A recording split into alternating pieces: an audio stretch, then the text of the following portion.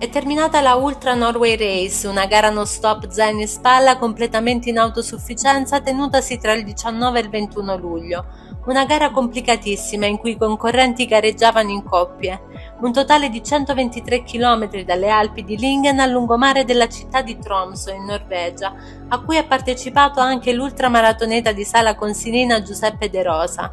Il percorso prevedeva l'attraversamento di alte montagne affacciate sui magnifici fiordi blu, a 350 km dal circolo polare artico, dove le temperature variano tra i 5 e i 10 gradi in questo periodo. Gli atleti che dovevano registrare il loro passaggio dei checkpoint posti lungo il percorso sono stati dotati dall'organizzazione esclusivamente di un GPS per potersi orientare tra le montagne.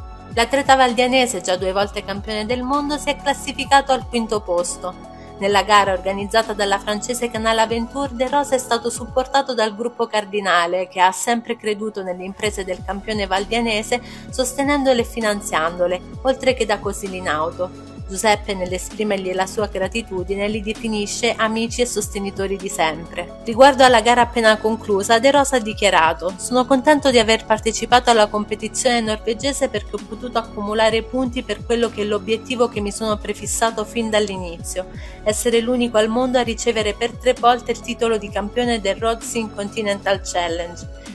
Questa è stata la prima gara del contest, ma il mio pensiero va già alla prossima competizione, ha aggiunto l'ultramaratoneta, che mi porterà il prossimo settembre in Bolivia.